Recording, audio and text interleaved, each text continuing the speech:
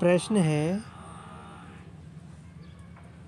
दस मीटर ऊँचे शंक्वाकार टेंट के आधार की परिधि चवालीस मीटर है। टेंट बनाने में प्रयुक्त कैनवास का क्षेत्रफल ज्ञात करना है। तो सबसे पहले ये पता होना चाहिए कि कैनवास क्या होता है।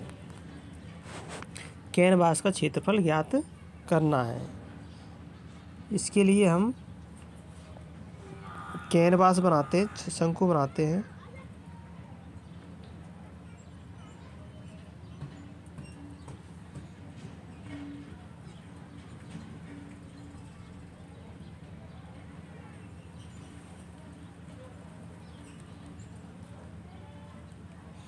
ये हमारा शंकु बन के तैयार हो गया। अब यहाँ हमें दिया हुआ है।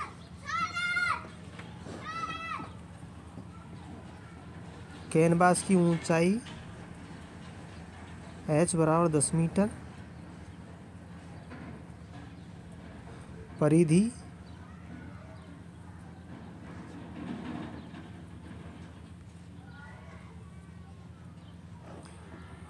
परिधि बराबर है चवालीस मीटर।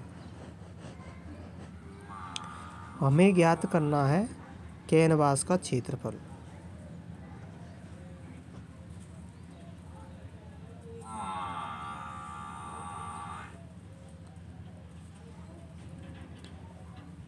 कैनवास का क्षेत्रफल हमें ज्ञात करना है।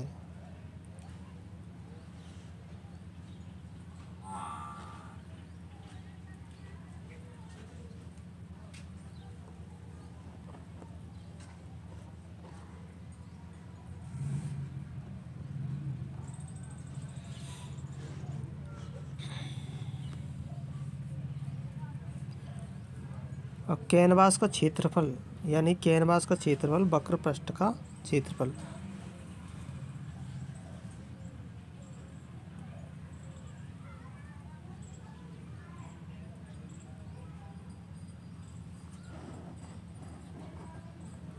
शंकु के वक्र पृष्ठ का क्षेत्रफल।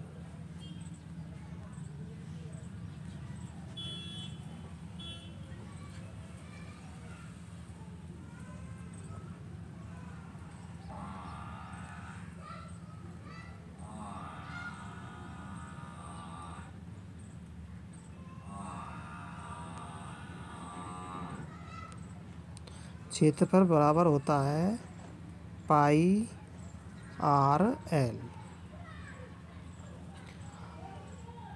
अब हमें दो चीज़ ज्ञात करनी है, यानी कि आर और एल ज्ञात करनी है। तब जा कर के हम इसका क्षेत्रफल निकाल सकते हैं। तो एल बराबर होती है शंकु की त्रियक ऊंचाई, और आर बराबर होती है त्रिज्या। तो यहाँ पर आर निकालते हैं हम।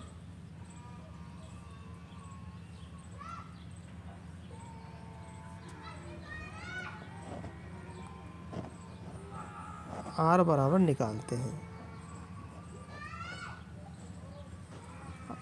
यानी कि टू पाई आर बराबर चंबालीस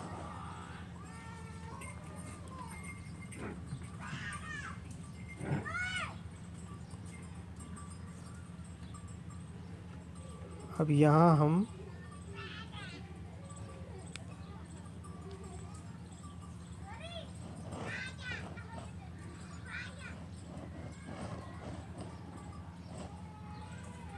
यह हम टू पाई आर चवालीस निकालेंगे तो हमारे पास में आ जाता है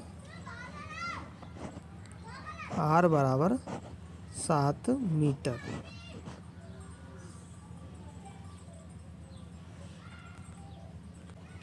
अब हमें एल ज्ञात करना तिरक ऊंचाई। तो एल बराबर होता है R square plus sorry L square बराबर R square plus H square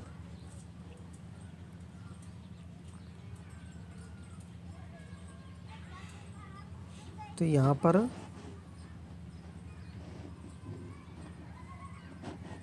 are बराबर सात है तो सात स्क्वायर प्लस एच बराबर टेन स्क्वायर एच स्क्वायर बराबर टेन स्क्वायर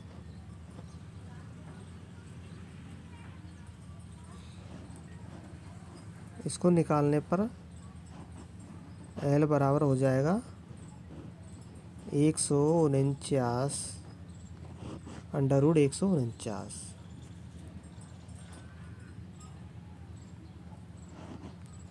एल बराबर आएगा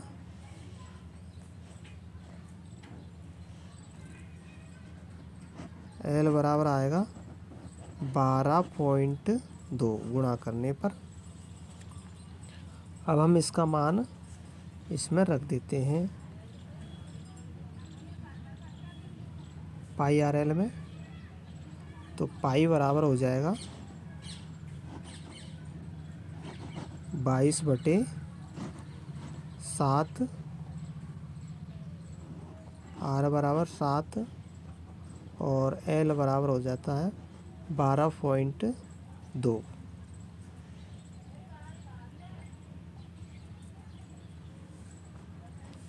बराबर दो सौ अड़सठ पॉइंट चार मीटर।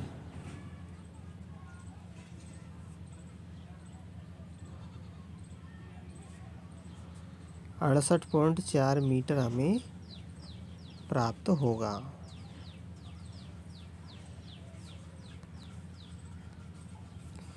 तो हमारा करेक्ट आंसर हो जाएगा दो सौ अड़सठ पॉइंट पाँच वर्ग मीटर स्क्वायर।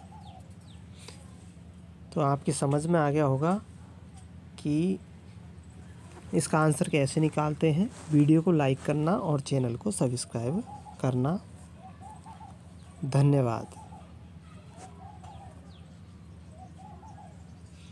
ऐसे ही वीडियो देखने के लिए आप चैनल को सब्सक्राइब कीजिए और बेल आइकन को प्रेस कीजिए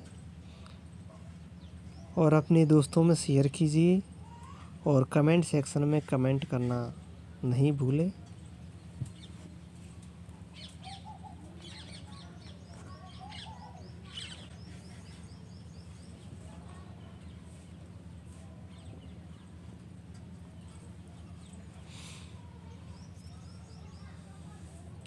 तो यहाँ पर हमें इस प्रश्न में दो चीज़ें ज्ञात करनी थी।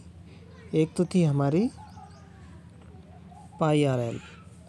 यानी क्वेश्चन एक था, इसमें तीन चीज़ें ज्ञात करनी थी, क्षेत्रफल, त्रिज्या और त्रियक ऊंचाई शंकु की।